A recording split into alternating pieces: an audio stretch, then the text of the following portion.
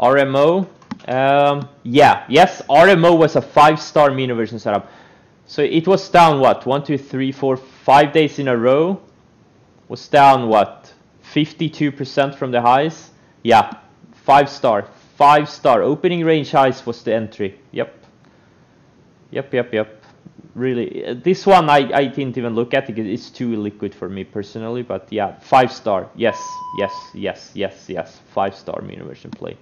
It's the same principle on this longs and shorts. You know, something that's up a lot in you know four. If, so, if something is up a lot, like three, four, five days in a row, you know, it's not gonna keep going up up forever. And the same thing with these things that make big moves and then have these big uh, moves down.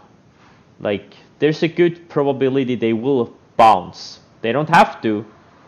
That's why you wait for these perfect setups where you have a good risk reward. If you're wrong, you only lose a little.